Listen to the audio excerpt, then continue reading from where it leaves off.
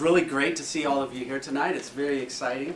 Um, it's great also to uh, know that we're live streaming, so we have a live streaming audience with us as well tonight. So be careful what you say. It'll go out. Um, this is the first part of a six-part series on American spiritualities.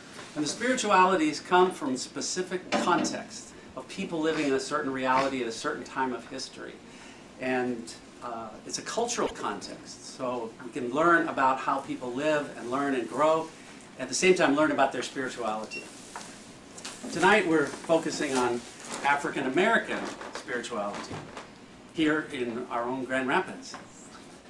Now, what got me started on culture, interest in culture, was that I had a priest sabbatical in Ghana, West Africa.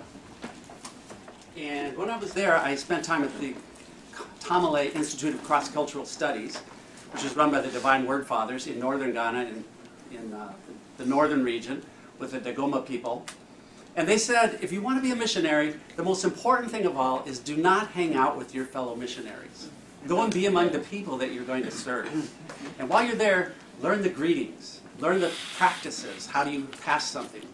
Uh, when the chief walks in, what do you do? And you, all these practices that are very important because it's the culture that they pass on to their children. And uh, these cultural practices uh, that you have to learn before you can really be accepted in that community. And language learning is really important too. Language learning, you practice a few phrases very simply every day with a lot of people until it becomes second nature. And then you add a few phrases and you grow like that so that it becomes a second nature experience. I think culture crossing is so important in our society as well because so many times we see people that we don't understand, we don't know them, we don't know what their life is like, and it's hard to connect. So that's what I'm excited about tonight because tonight will be an actual experience of learning about another culture or learning about each other's cultures and the ability to share that. Um, I'm going to welcome in a few moments uh, Pastor Howard Earle. Very happy to have him here and a member of his congregation to share with us uh, about culture crossing from an African American perspective. But first of all, a word about spirituality. Short definition, I would say a, a provisional definition, would be those practices that we use to connect ourselves to other people, to the whole world, to the universe, to God, the practices that get us out of ourselves and connected to other people. And spirituality is, first of all, a gift from God, because God gives us the Holy Spirit. The Holy Spirit connects all of us. It's a gift, but it's a gift that has to be nurtured. So there's two parts of spirituality. Experiencing the gift, and then doing the practices necessary to keep our spirituality strong. What I'd like to do is uh, ask you a question. I'm going to ask you a question about uh, your experience with meeting another culture, meeting somebody with another culture. think about that for a moment. If you've had an encounter with somebody of another culture or with a group of people. Take a few moments to think about that. Now, I'd like to ask you to turn to somebody next to you. Can talk in twos uh, for a few moments. Now, it's not going to be your life story, of course, because we're on a timeline. so it'll just be a few moments. It's just to kind of prime the pump tonight for talking about culture crossing. So please talk to the person next to you about an experience you have had of encountering another culture.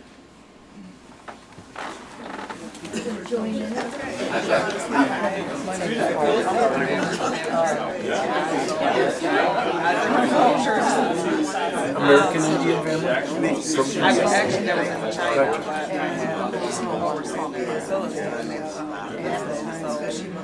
I think I've just looked up to different cultures, so you know how to deal with things. That's great. Uh, even though, you know, they're not like us, they're, they do have a lot of. That's great. And But it's different, so you really have to understand how we work and how they work two different ways. So you have to teach yourself? Yeah, there's no training. So, so that's like some, you know. That's great. Oh, yeah, when I'm on vacation or whatever, I do. But I just, you know, we have different facilities. And we got one in California, one in Texas, one in Illinois, then we have Canada, UK, you know, different Asia, even in Africa and stuff. So, um, the people that I work with, they are used to like the US. Yep. So when I'm gone or whatever, i've to take this I just have to explain to them that, so, you know, it's like Canada, you know, they, We're gotta get it done, gotta get it done now.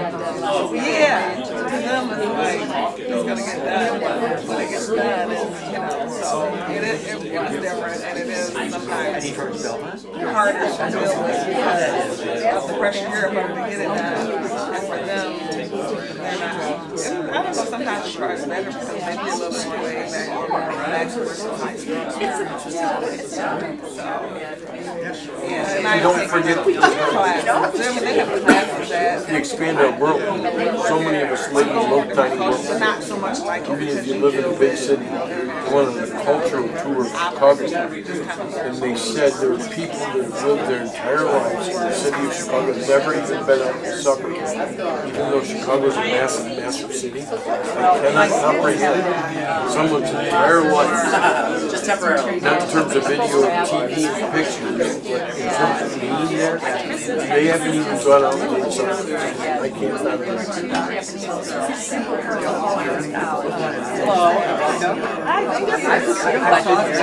fathom it.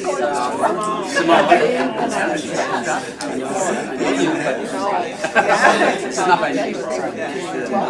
Well, I always have my usher tag on, so whenever you forget. It's right there.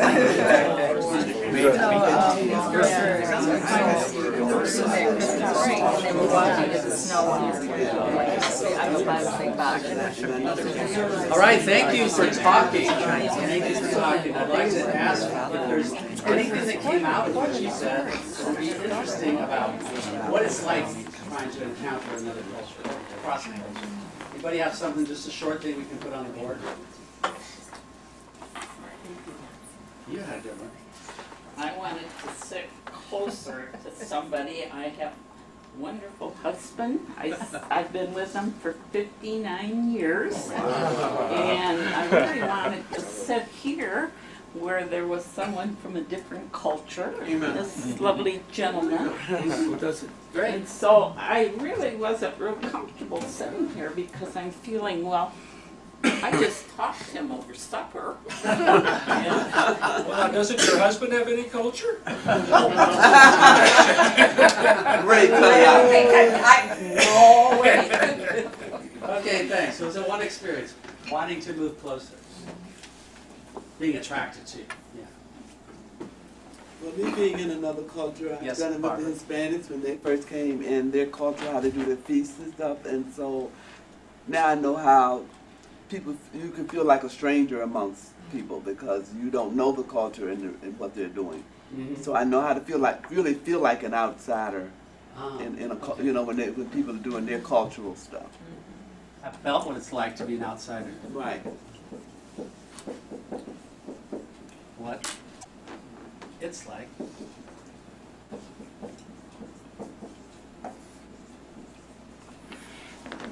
Outsider. Okay, do we have one more? Yeah, Josh.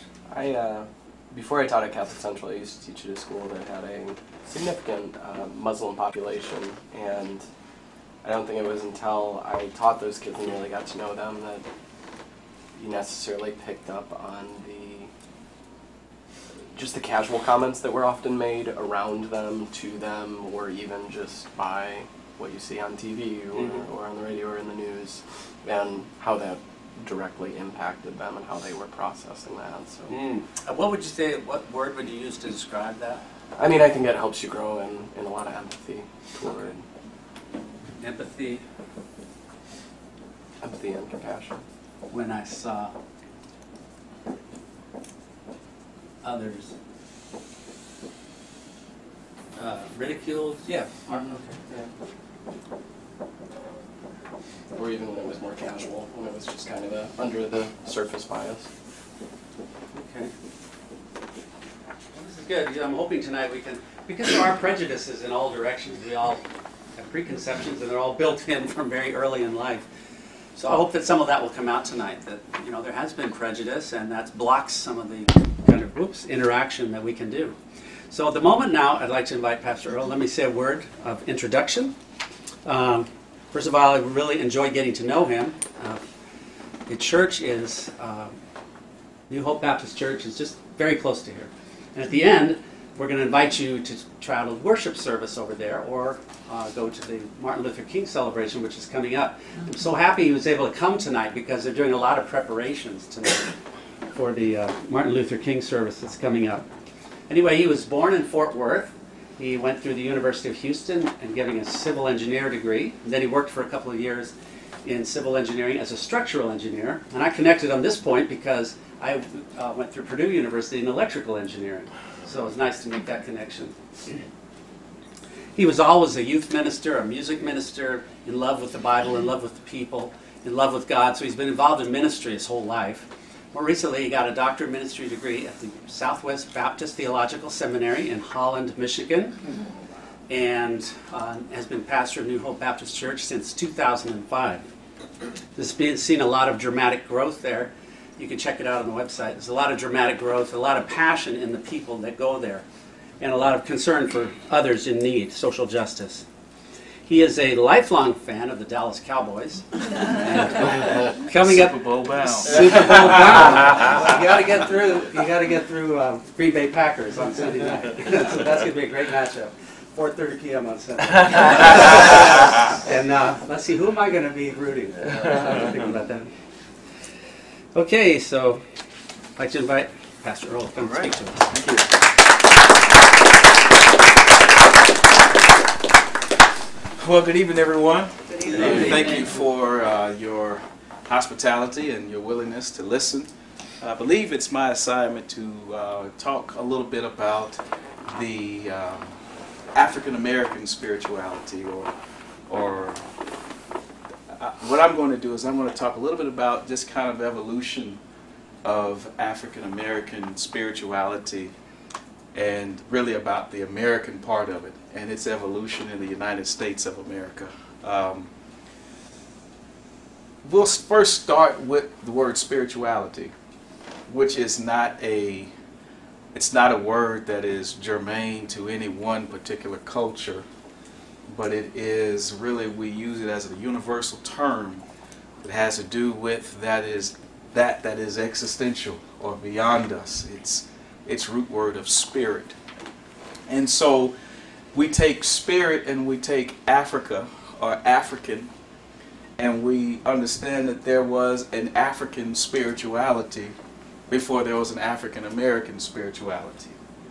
And we all know how Africans become African Americans. That we know that Africans were taken from Africa. And the history books, some say it, some don't, but we know they were taken against their will from Africa.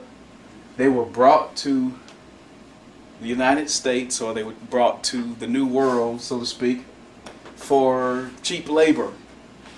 And so, in that transition, when they arrive, when they arrive on the East Coast, they come into the port of Charleston, where 70% of the slave trade in the history of the United States happens there. They come in there, they come in as Africans. And they come in and they come with their own spirituality. But it's beneath the bows of the slave ship. The slave ship becomes the womb of African American spirituality. It is the incubation period, the incubator, where spirituality would start, God would start grooming it, compiling it, composing it, making it. And ironically, I was doing some reading uh, earlier this week in preparation for our discussion tonight, but the author was saying, ironically, some of these ships, one ship's name was the Virgin Mary. Another ship's name was John the Baptist. and these were slave ships. Their cargo were human beings, and they were brought here to this land. And then, as things start coming together, we also know that Christianity and the gospel was a method used to control slaves. But also, it was the first, it was how literacy was taught to slaves. And so, the slave masters would use the passages that talk about slaves obey your masters. They would use these passages to keep slaves and make them docile and, and, and remind them that they were subservient, they were less than humanity, and so forth. But there were narratives in Scripture that slave that resonate with slaves, such as the Exodus narratives. It's these Old Testament passages that um, resonate with the hearts of slaves, where they find themselves in the gospel and they see themselves in the gospel and come to understand that the Christ of the Gospels has a heart for the oppressed.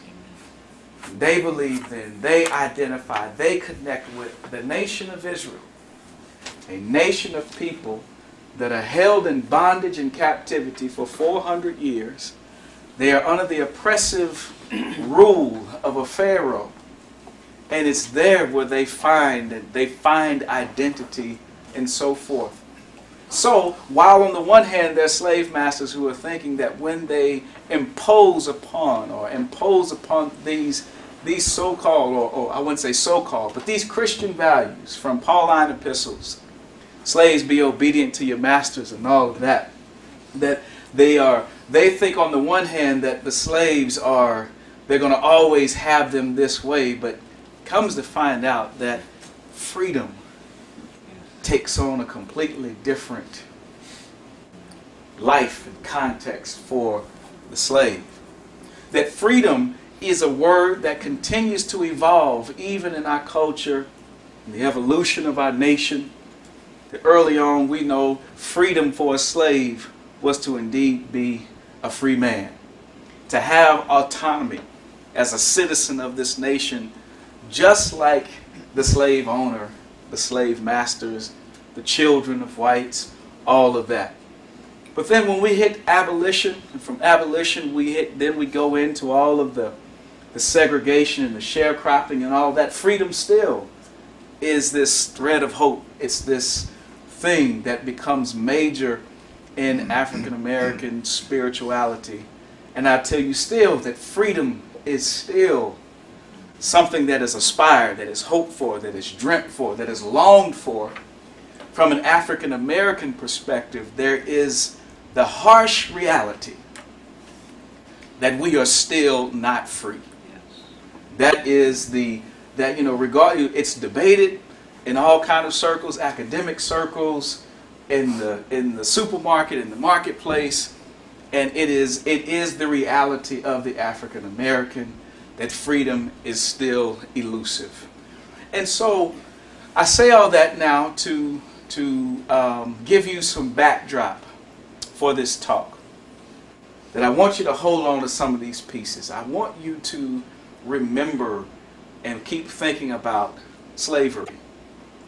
And I want you to be thinking about freedom. And I want you to think about spirit and spirituality. Now I'm going to in, interdict another theme, and this theme is church. The church becomes a number of things, but it also becomes this place of incubation for African American spirituality.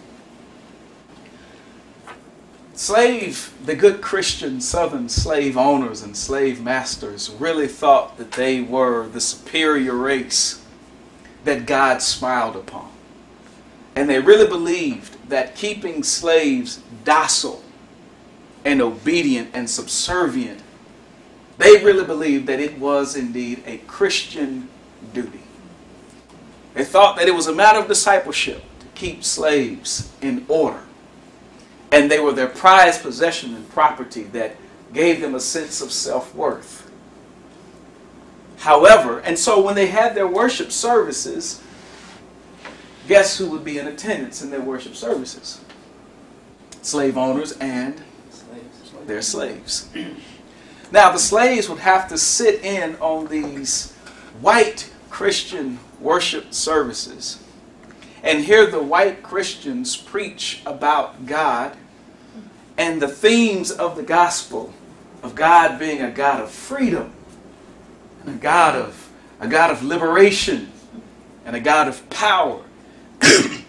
and so the tension in the slave's life becomes who is the freedom for? And who is the liberation for? Is it only for my white master? Or can I be free as well? Well, we know what slaves believed. The slaves would believe that it is God's will that I be free as well.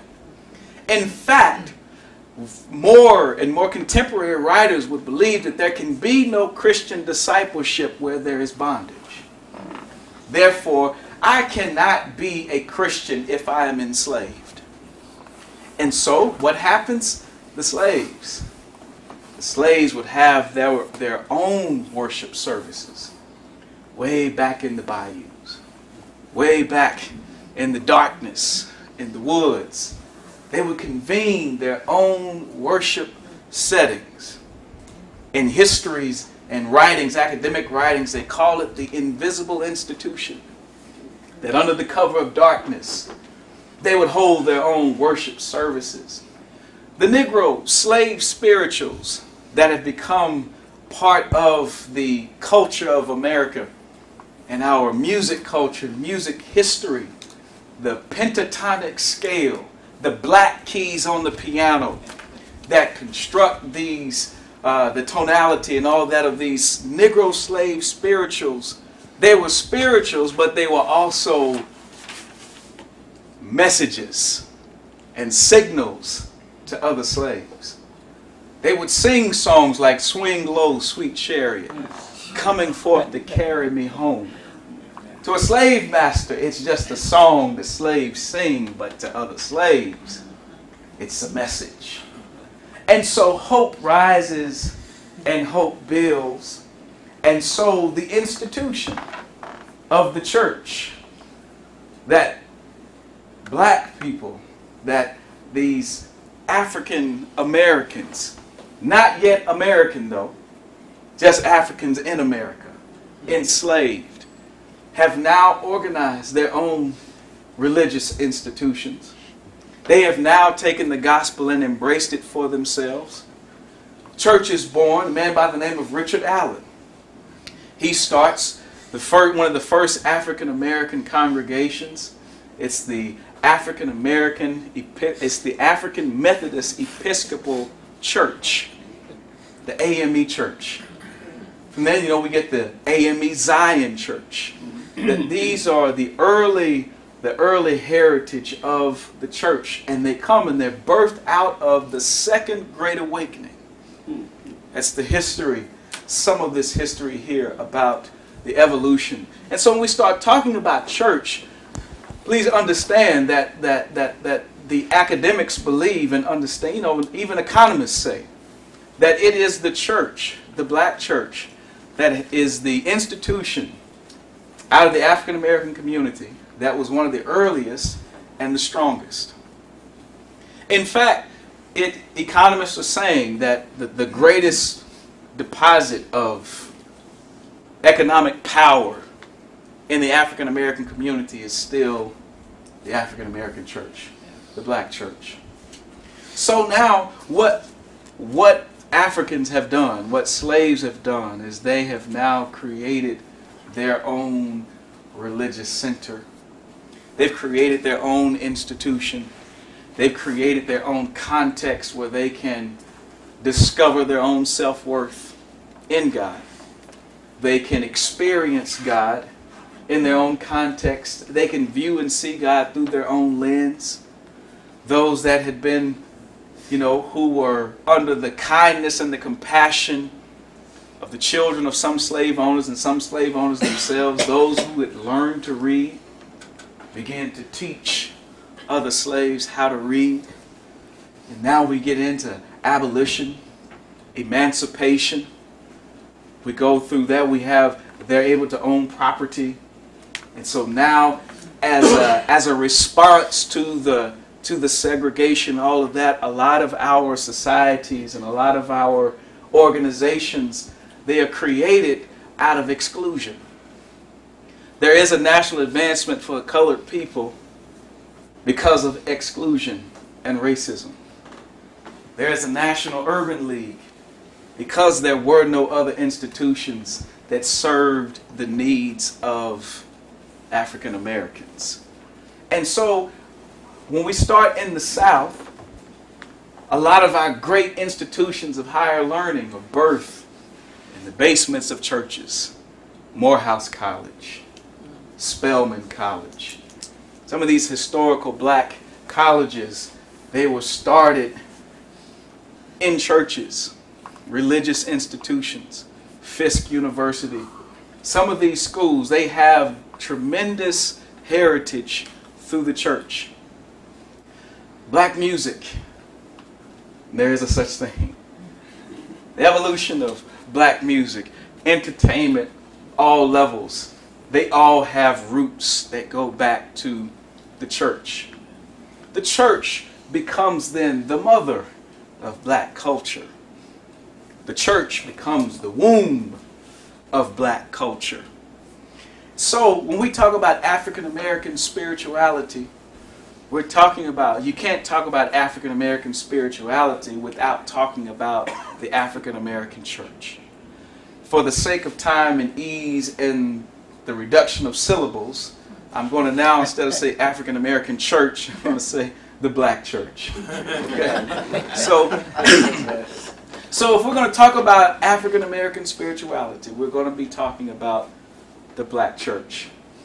I am a child of the black church. I grew up in a middle class family. My grandfather was a pastor. He pastored two rural churches in East Texas. The rural church meets twice a month. So one church he passed, he'd go and he'd preach in on the first and the third Sunday. And then another church he'd go and he'd preach on the second and the fourth Sunday. And there was no service on the fifth Sunday. I remember, I remember one summer I spent with my grandparents. My grandfather was in revival. And revival is a string of worship services uh, they, you know, I'm sure they have them in white churches, but these are very prominent in black churches. But a revival would be successive number of nights of worship. And I remember going with my grandfather one particular week. He was in a revival. I don't know the name of the church, but it was a small wood frame building. It had a front door and a back door. It had wooden pews and a wooden floor. And my job every night was to wind up the cord on his portable microphone. and I remember watching, you know, they would take up an offering, they put the offering in a little basket, and they would uh, put, leave, you know, set the basket down. And, and for the life of me, I never, I always saw the basket, but I never saw the money. never could figure that out. but I just know that I know the contributions that the black church made in my own life. I remember the times when there was crisis in our family and it was the church that our family took refuge in. I remember uh, vaguely my first funeral and not knowing what that silver, that gray box was. Or my first time at a communion service and seeing the white sheet draping the communion trays with the big hump in the center. Not sure, wait a minute, what is this? Is there a dead body under the sheet? I, I remember those things, but I, but now, I didn't know then, but now I understand. But God used the church. God used all of these symbols and these people. He used them to prepare me for who I am today. And so I have literally become a I started as a child of the church now I am I am a student of the church that we've got spirituality, and if we're going to talk about African American spirituality, we must talk about the black church. Now, when we talk about the black church, there are three primary pieces. W.E.B. Du Bois calls them, he calls them the preacher, the music, and the frenzy. The preacher, the music, and the frenzy. I will, I'm going to kind of discuss them and, and I'm going to bounce around in all three, okay? I believe the first two are pretty self explanatory the preacher and the music. But this third one is interesting the frenzy. I've talked now for about 15 minutes straight. But now you tell me when you hear the word frenzy, what do you think? Out of control. Out of control, okay? Frenzy. Fun. Huh? Fun. Fun, okay? Fun. Black Friday. Excitement. Black Friday. Black Friday. Frenzy. Wild. Wild. Frenzy. High emotion. High emotion. Spirit filled. Spirit filled. Amen. Amen. All right. Frenzy. He sounded more and more like Black Church. so here's here's frenzy. Frenzy is all of what you just said. Maybe more of some, a little less of others. But yes, there is indeed high emotion. There's energy. There is um, there's excitement. There is exuberance. There is a loss of control. However, it is loss of control because there is a real entity that takes over. And who is that entity? The Holy Spirit. Holy Spirit takes over. Du Bois calls it the frenzy because you all have seen pictures or experienced or witnessed what he would be describing. What do you think he would be describing as the frenzy in the black church experience?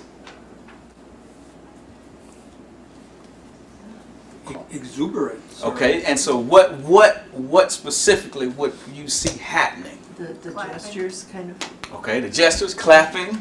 Don't be afraid, just tell me. I don't know. The preacher preaching and the people responding. Okay, the preacher preaching, the people word. responding. What else? Amen.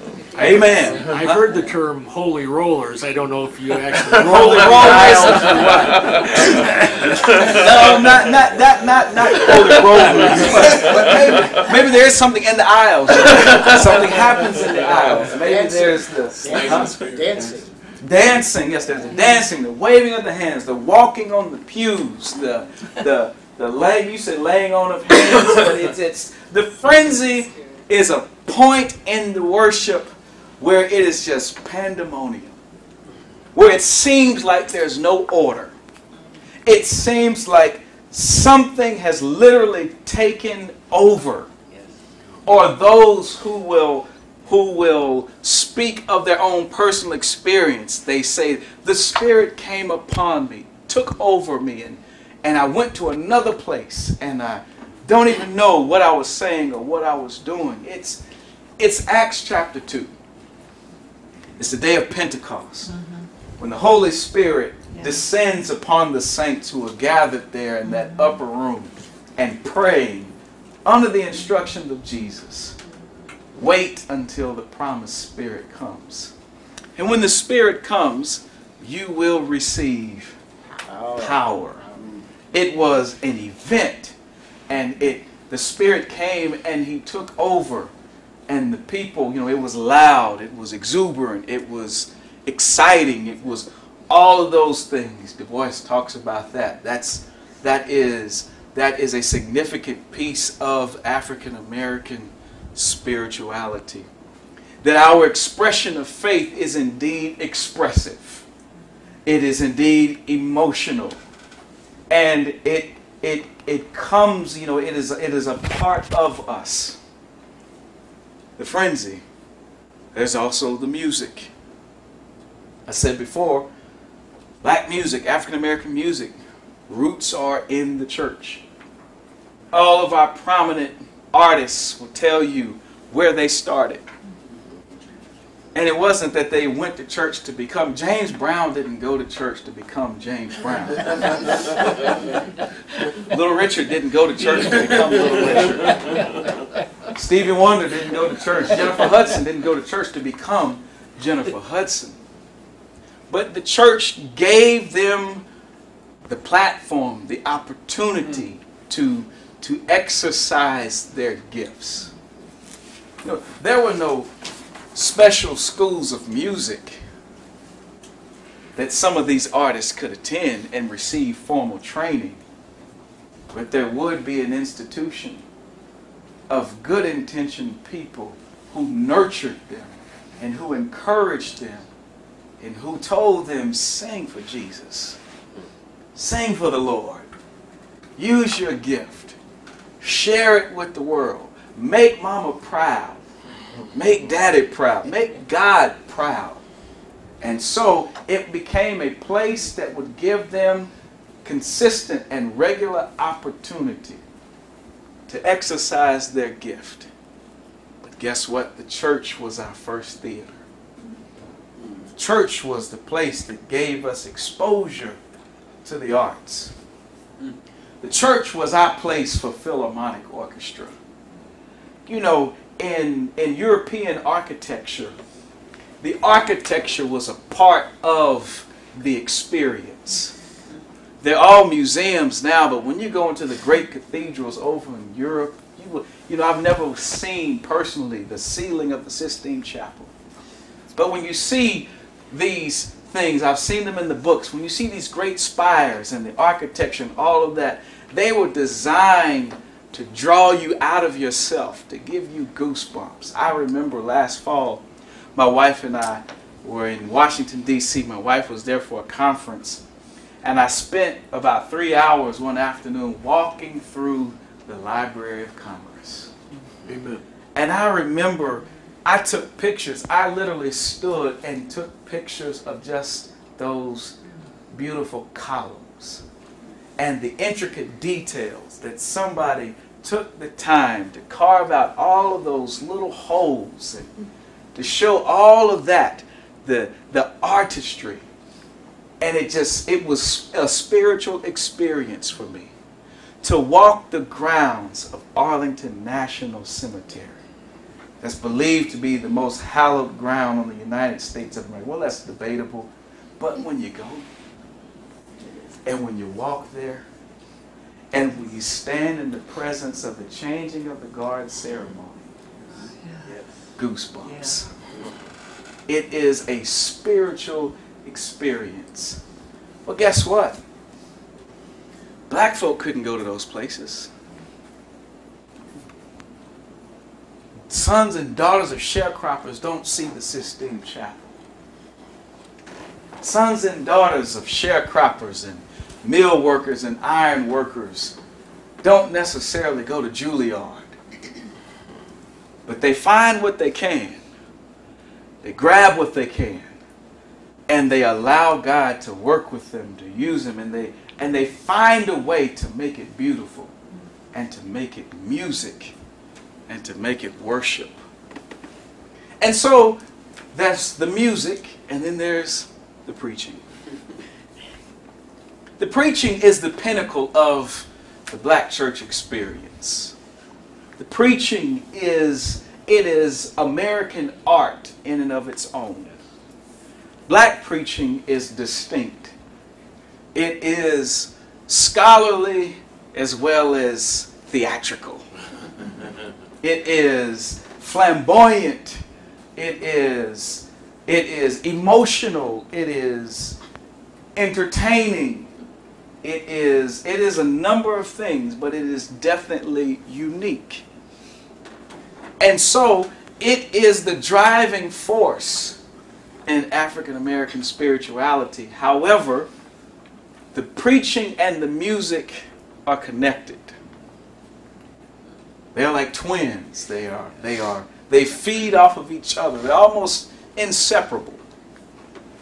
The preacher who can sing is indeed the double threat. I have some friends. I have some friends who are great preachers. I mean, you know, I have some friends who are great singers.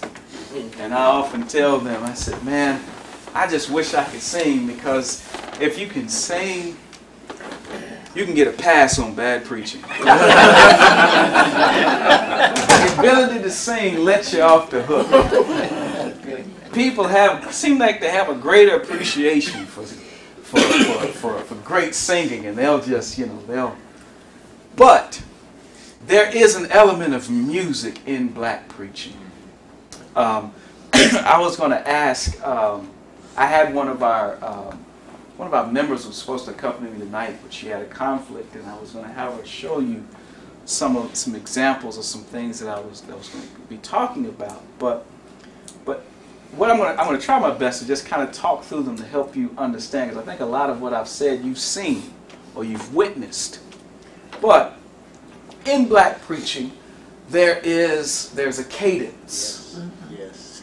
There's a cadence in black preaching, and and you don't hear it as much in the north as you do in the south. Northern black preaching is different from southern black preaching. In fact, some would say that northern preaching is much more sophisticated than southern preaching. Uh, that's all debatable. But nonetheless, there are things that happen. There is the call and response that is unique to the African American experience. That, that the sermon event is a period of dialogue between pulpit and pew, where it is not uncommon for the pul- for, for the pew to encourage and urge on the pulpit. I hear you, preacher. Keep going, preacher. Say it, preacher. It's more than just amen. It's, you know, and it's the preacher asking a question of the pew. Can I get a witness? You got a witness, preacher. Keep on going. It is, it is the, the, the they call it, you know, in seminaries, especially in black seminaries. Dr. Miles Jerome Jones, who's deceased now, great preacher, uh, professor of preaching at the Virginia Union Theological Seminary, calls it the homiletical ping pong. It is the, the preacher saying one thing and the pew saying yes, and the preacher saying one thing and the pew saying yes, and the preacher saying one thing and the pew saying yes, the, the, the back and forth, the volley. And so the two rise together and we and we see and you get to the frenzy. The frenzy can happen from the preaching, it can happen from the singing, it can happen from the praying, but nonetheless, it is not until the frenzy happens that one can say, Well, Pastor Show preached today. it's not until you, if you don't hit pandemonium, it's just like, wow, that was a good talk that Pastor gave us today. That was a good little lesson that he gave us today. But but African American spirituality indeed is it is lively. It is it is conversational. It is it is exuberant. It is empowering. There are the the you know one thing that, that, that I love about the black church that when we were in in segregation, the black church gave the black community its sense of pride. Because Monday through Friday, blacks worked bottom jobs. They worked grimy jobs. They were nobody. But on Sunday morning, they would put on their best. Sunday best. And they could stand tall.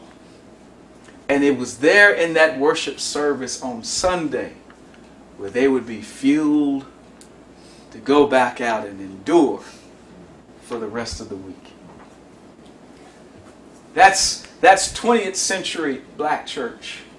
That's pre-civil rights and civil rights era black church. It's the black church that is the driving force behind the civil rights movement.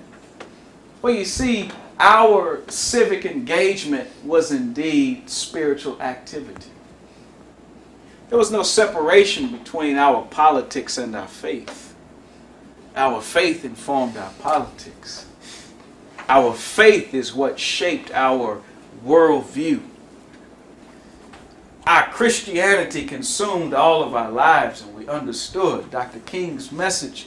There was a message of nonviolence, it was a message of love, which at, from its very core and foundation, he believed and his convictions were this is the message of the cross.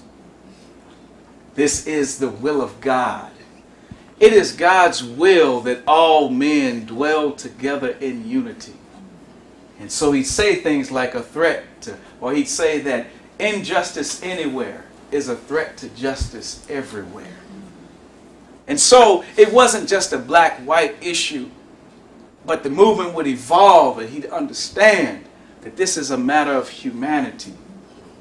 And so when we understand African American spirituality and the black church and the life of the black church and its evolution, it is because of all of the oppression. We, we use that, we bring that. That's, that's what drives us, even in our singing and testifying now that we attest to a God of glory and grace who still has the power to pull us from the muck and the mire. We still worship and pray to a God who is grandma's bridge over troubled water. We still worship and pray to the God who is Noah's ark and he's Moses' rod and he is he is he's Ezekiel's wheel in the middle of a wheel. He's the lily of the valley, the rose of Sharon bright morning star. He is Gideon's fleece. He's Mary's baby. He's John's first cousin. He's Joseph's stepchild. He is God Almighty. He's Christ, our conquering King. He's our ascending Lord, the Lion of Judah. He is our mind regulator and a heart fixer. Those are all the things that we call the God of heaven in African American spirituality. And we don't call him those things for the sake of nostalgia and history, but we call him those things because that's who we need him to be today. We need him to be our advocate. He is that one who fights our battles, and we find ourselves encouraged and empowered by this fact that if God raises a dead Jesus, that we know he's indeed capable of keeping us today. Sure, our hearts were broken back in November on election night. And now we've got questions. We've got questions. I'm talking about now speaking on behalf of the African American community. We've got questions because we aren't sure what this administration, what its ideals will mean for that of the advancements that we've experienced so far. However, we've put our trust in the God of heaven. And we know we've been here before. We're broken, but our spirits aren't broken. We know that God is faithful and He will remember us. But we're just frustrated that we're still here. Still longing for freedom. Still desiring freedom. So then, the pastor, the preaching, in African American spirituality, I did my doctoral study on the role of the pastor as he leads the congregation on the journey of transformation. In other words, when a church goes through the change process to align herself with the heart of Christ. The role of the pastor in the African American church, the pastor is the president, the CEO, the head coach, the face, the voice, the leader, the, the, the engine, the, everything. It's all revolves around the pastor. The African American pastor is the sage. He's the counselor. He's the spiritual advisor. He is the economic advisor. He is the, the, the, the, the priest. He's, he wears all of these hats. Now, I'm talking especially early 20th century black church. Again, because this was the only institution we would have. We didn't have private insurance that would allow us to go to our private doctors for psychological therapy. But we had a pastor who would sit and counsel with us, sometimes with just a layman's education, but would help us understand life through the scriptures, and he do so empowered by the Holy Spirit. There were seasons where we didn't have financial advisors, but we'd be nothing for a family to go to the pastor and say, Well, Reverend, help us with this. The pastor was the advocate. If so and so's son was going to court, about to go to jail, family called the pastor. Pastor, would you join us in court this morning? I had to write a letter. Had a family call me. Their daughter had gotten caught up in some controversy. Got engaged in an alter, not an altercation, but pretty close. Big scene with the police. I believe it was a little bit of the alcohol that got in the best of her. She had a court date coming up. Working, young mother, never been in trouble. And the family really couldn't afford an attorney. She had a court appointed attorney. Father asked me if I would write a letter for his daughter. And so I wrote a letter. Another family. Dad calls me. He says, My son, 17 years old, has been arrested. He's got a hearing coming up. And he's facing four felonious accounts possession, uh, firearm, and attempt to do bodily harm with fires, all kind of stuff. This kid was 17 years old, was running drugs for his mother. And his mother tells him, don't say anything because all they're going to do is give you boot camp. Dad says, it's not true. They're going to try him as an adult. They don't give boot camp for these offenses.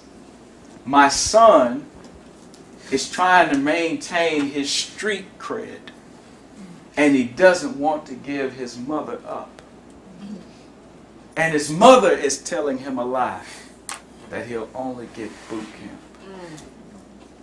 I went to court with that family and watched the judge sentence a 17 year old boy to 12, 13, 14 years in prison. Mm.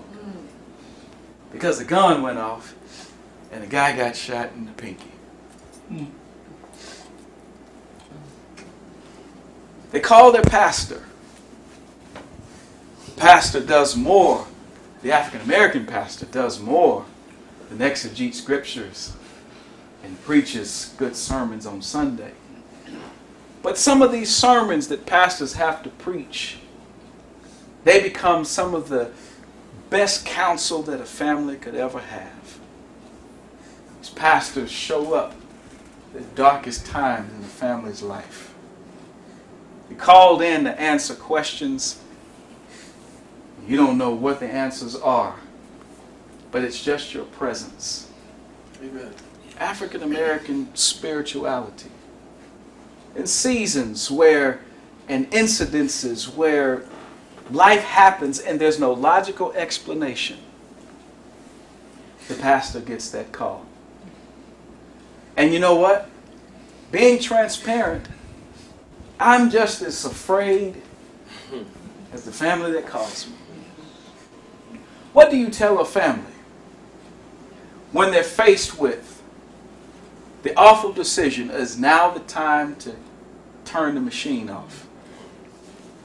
When a father has sat by his son's bedside for a week and a half with no change, and the father believes if I turn this machine off, I'm killing my son.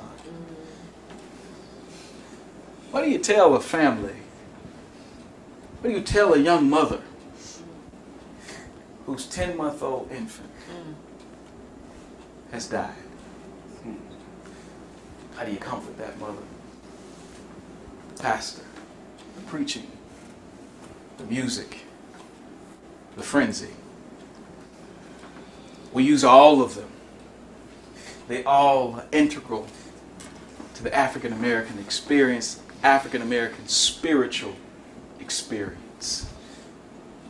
We use and we draw on all of them at any given time. I was going to show you tonight just some excerpts from some of our worship worship context at New Hope Baptist Church. But I'll tell you about how these three things came together. Okay, so you tell me when. Can I tell this little quick thing and then we can take Yeah. Look like they just everybody's just kind of like moving. So Bill's ready to go. Oh. so if I gotta stop, it's Bill's fault. it was the fifth Sunday in October, and I was working on a message, and it was the message was going to be about telling our stories. And it was I was going to be telling the story. I was going to be using the, the the narrative of the woman at the well. And now here's a woman from obscurity who had no clout and no social status and had lived this immoral life. And yet she sparks this movement because she goes and says, Come see a man who told me everything I ever did. The Bible says that all these people came to faith because of her testimony. We reached a point in our worship where I just began speaking and I started talking about the power of God and how He has affected change in our lives. And I looked out in the congregation, and there was a man there by the name of Wayne Hill, who I'd had several conversations with, and he had gone through a series of hardships. The latest had been a surgery that he had on his neck that had almost paralyzed him. He'd had complication after complication, and he and his wife had just had a brand new baby boy. And Wayne was barely strong enough to hold him, let alone care for him. And I remember seeing Wayne out there and talking about the faithfulness of God. And I said, You don't know who's sitting next to you. You don't know what they've been going through, what they've been carrying, but God has been moving. And I said, There's Brother Wayne Hill. I said, Wayne used to come in here on a walker, in a wheelchair, but there's no walker now. I said, Wayne, stand up and let him see you. And Wayne got up with a cane. And Wayne was one of those guys that had a cool walk. and he had a cool walk with a cane. And he came all the way down the aisle. And he turned and he waved his cane and started going down the center aisle. And from there, frenzy. I said, perhaps there's some people, you've survived cancer because they told you you shouldn't be here. Let somebody see you. And people started coming. And I'm talking about people who had never moved in worship before. they were getting up. They were they had gotten into the aisles. They were coming down the aisles, and I was like, okay then. so then I said, how about people who, in fact, Dr. Plunkett was one of those people. He was there. We we had people who had had who were the other one was about people who were caught in the throes of addictions. I said, you know, the, the, the 12 step process says that once an addict, always an addict, but that's not what the scriptures say. Scripture says that if any man be in Christ, he is a new creature.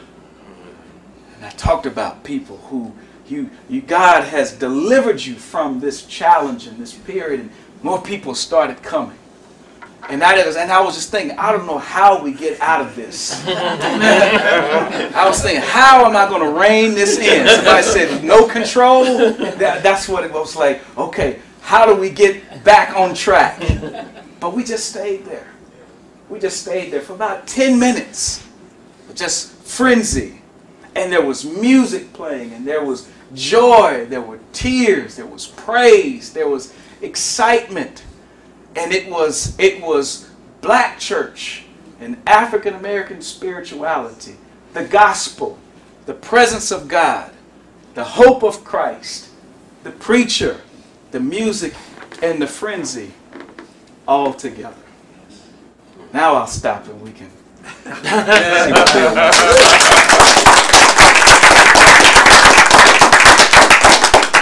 Thank you so much, Pastor Earle. welcome. Uh, we're going to take a little break. We've got some sweet potato pie made by Barbara Taylor and uh, cookies. And we'll take a no more than 10 minutes break, and we'll come back and we'll have a chance for question and answer then at that time.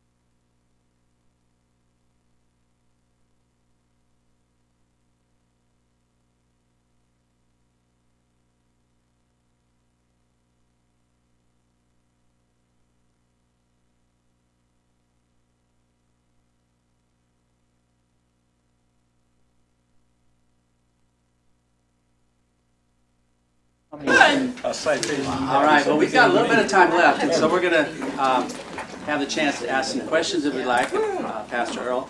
And uh, why don't you, it's always good to talk to one other person. Why don't you talk to somebody around you about something you heard today that you want to remember? Just chat a little bit, and then we'll take open questions. We already did. We did already. Did you want to talk with us, right? Well, I graduated in eighty-six. I went out to Arizona for a The couple whole, I years. mean, I, I had not heard the term frenzy in terms of. I was there for something with architectural There's a design, whole came different back home. understanding of why.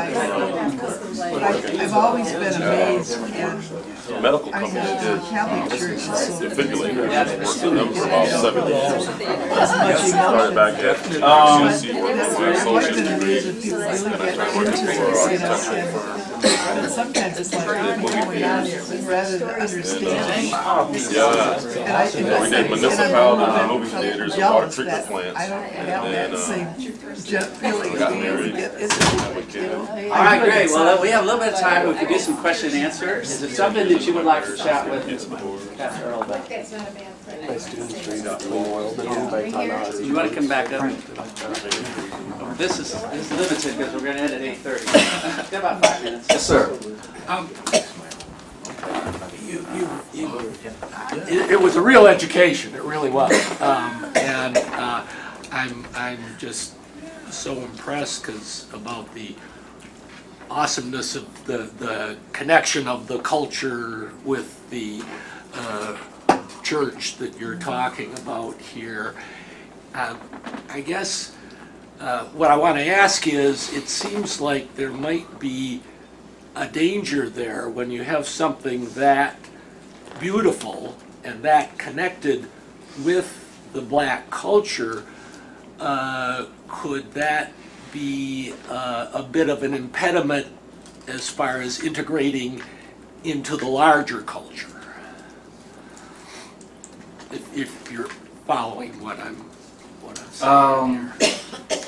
I guess if it was gonna be an impediment, then you would, then is, are you implying that the larger culture would not embrace the black church? Yeah. I don't know to some degree. Well, I was, I would say that, I think that that's what's implied by the question stated that way. Okay, I- That if- yeah, that- you didn't that state if quite Yeah, right. if- if we're talking about trying, because then you're saying that, you- you're, you're saying that there is the need to acquiesce into the larger culture. And, and I don't, personally, I don't see the need to have to acquiesce because this is my culture. This is, this is who I am. And so I think that what we need to do is learn how to be affirming of all cultures because if, if there is the pressure to acquiesce, then that is oppressive. Because you're saying, be less of you and more like me. So, so you don't believe in the melting pot of America, shall we say? I don't know if if if melting pot in I'm not saying melting pot in the sense of that we forget who we are and we all become this one thing. I think that melting pot in the sense that we can all be who we are and be who we are and affirm one another. In other words, I can be Hispanic and be proud to be Hispanic, but be an American Hispanic or Hispanic American, rather than being a Hispanic and I've got to suppress my Hispanicness so that I can be American. It's the mosaic. It's the idea of the mosaic, that the cultures are there, but they're part of a bigger picture. Yes. Good question. Yes, sir. Yes, along with Ray's comment, we've all read that the most segregated time in Sunday our morning society 11 is o'clock. Sunday morning. So is that, to a certain extent, a good thing, or is it a negative thing? Or I think that we have to be careful in, um, because the thing is, you're going to like what you like. You know, um, I have nothing against, you know, there's a style of music that I just prefer. All right? And I think that, that if, if we say that we're going to eliminate the segregation on Sunday morning, I think that's, that's naive. But it's when I have a, it's when I've got a, you know, we're an African American congregation and we are going to be intentionally oppressive to anyone who's non-African American when they come in. I think, you know, that's where the danger is. That we would hope, I would hope that Caucasian people can come in our congregation and feel comfortable to worship God and not have to feel pressure to have to look like us and be like us and do what we do in worship. And, uh, you know, that takes work, you know, because I'll, I'll tell you that we are an African American congregation. We are an 82 year old congregation.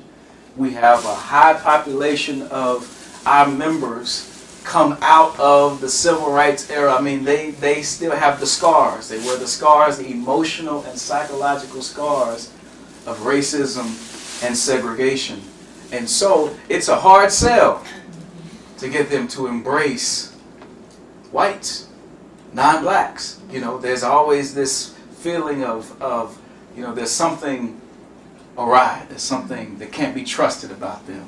And so, you know, I don't believe that, that it's our mission to uh, do away with black churches and white churches and all of that because I believe that as long as we have these distinct cultures, there's going to be these communities.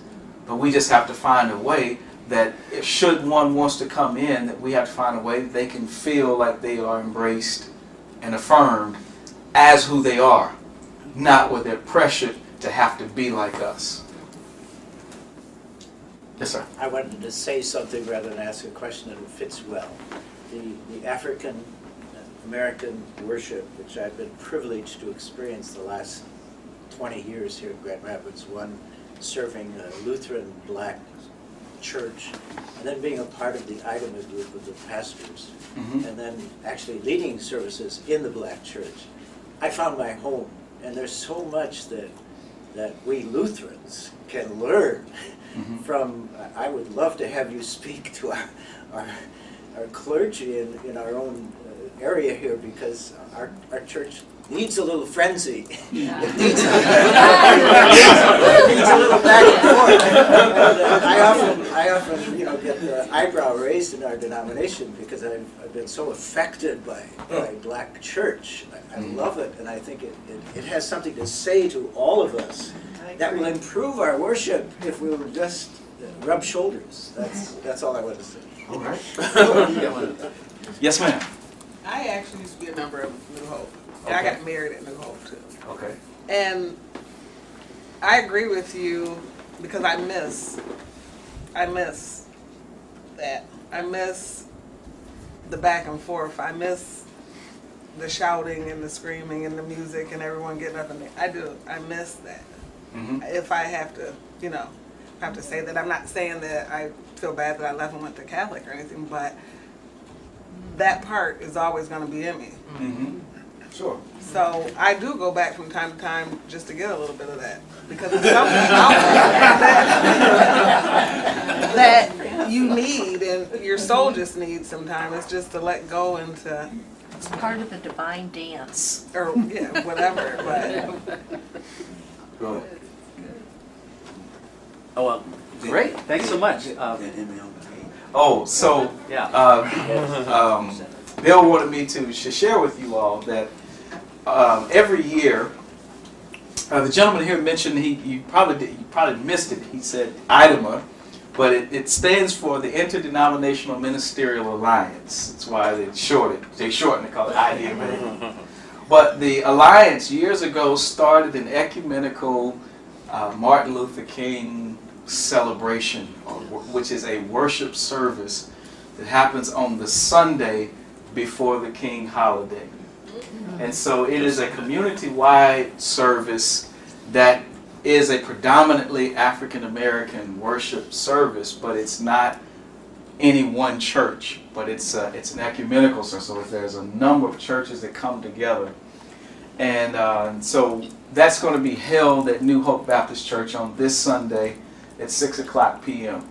Uh, there is it's a truly community effort. There's a community choir, and uh, this year's choir is really uh, there's um, the first rehearsal, I'll tell you, there were more whites than there were blacks in the choir rehearsal. But uh, I believe that a lot of them came from the Fountain Street Church. The Fountain Street Church will be hosting the community-wide King um, evening program on Monday night. Uh, but on Sunday night, there is a worship service that's going to be at New Hope. There will be a community, an adult community choir and a student choir. Both of these choirs have over 100 people in them. And I don't know how we're going to fit them all in our, in our choir stand, but, but that service will happen on Sunday night. And, uh, you know, so that's, uh, give you an opportunity to just kind of experience African American worship. I can't tell you will there, if there'll be frenzy or not. Um, but there will be, there will be, there will be, uh, there will certainly be dialogue. There will be excitement. There will be, uh, certainly there will be exceptional music. There will be testimony. There will be fiery preaching. But the frenzy part's not left up to us. but but please, but don't. And I don't want you to to to cons- don't see African American worship as this. Um, you know, don't be intrigued and look for frenzy because of the way I talked about it, but understand frenzy as a true act of God, something that God does. So then, should you come and be with us, come and be with us. Don't come to observe, come to experience. Amen. And come to experience what we come to experience, Amen. rather than come just to witness, but come and, and, and be a part of what happens, because that's what makes frenzy frenzy, is that everybody gets caught up in frenzy. And so I'm just, you know, just thought I'd caution you against that. Yeah, I don't want us walking out tonight talking about frenzy, frenzy, frenzy. but just know that that, that, that it is, because that's just a term that, you know, it's not, you won't find frenzy in the Bible, you know, but it is indeed uh, a way of describing something that happens. Yes, ma'am. Is there gonna be, are you preaching and then other preachers or just? I'm not preaching Oh. this year. Um, I preached the service uh, a few years ago. This year, a gentleman by the name of Eula Gaddis is preaching. He pastors a church called Prince of Peace Baptist Church on Evergreen Street. Um, I'm the uh, I'm going to be doing what's called a call to worship. So I'll be probably the first voice that everyone will hear. I'll be greeting everyone, welcoming everyone, and giving some directives about seating and all of that good stuff, and just basically calling the worship service to uh, to order. Yes, ma'am. So is it a dress-up affair? Catholics have become less formal in their, Yeah. so is, is African-American churches formal? Dress? Well, you know that's a good question. Uh, there are some that are that are traditional in their dress. Clergy will be all the clergy will wear suits. You will see a lot of you'll see everything. You will see formal dress. You will see casual. You'll see business casual. Uh, because it is that it is that's ecumenical, Okay. cross-cultural community thing. So At what time do you recommend we arrive? I recommend that if you're serious about coming and experiencing and being there, I recommend you be there at 5:30 uh, because everything is limited. There's limited parking and there's limited seating, um, and so the later you get, the later you arrive, the more challenge you'll have at being accommodated and being comfortable. So Are the doors gonna be open at five though? they will. They will. will, will- the doors will be open at five. Probably not earlier than that, but but um, What time does it What time is It It starts at six. At six? Oh, It starts at six, and uh, you know I'm torn because the Cowboys will be playing, so I gotta figure that out.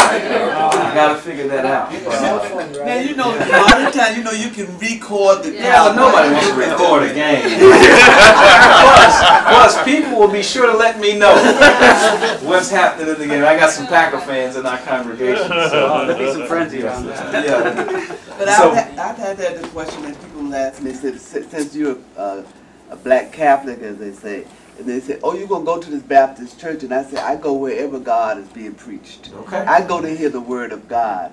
And I do go because I love gospel music. So I mm-hmm. do go when they have concerts and different programs at the different churches. Yeah, I just go to that because that's that's part of who I am. That's what I'm saying. That's And, part and of there and there is a movement in the Catholic Church where there are some Catholic parishes.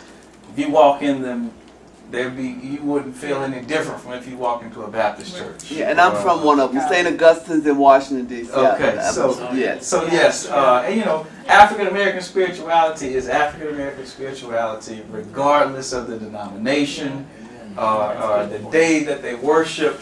You know, you go to a Seventh Day Adventist church, you go on Saturday, and it may as well be Sunday morning.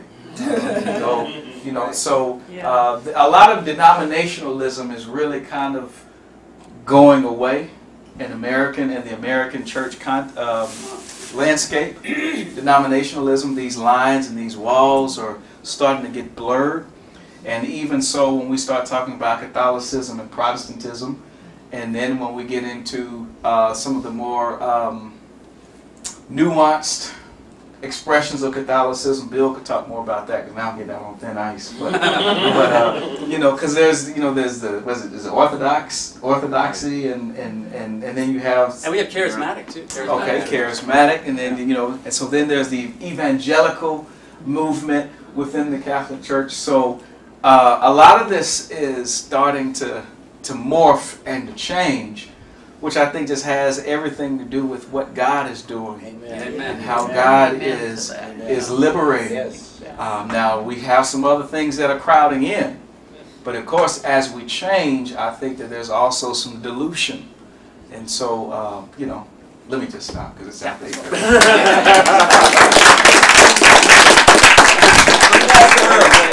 Pastor Earle, I do have a saying, and it goes, God made Christianity, man made religions. Uh, so that's my take on that. Well, thanks so much to all of you for being here, especially to our audience on the uh, streaming.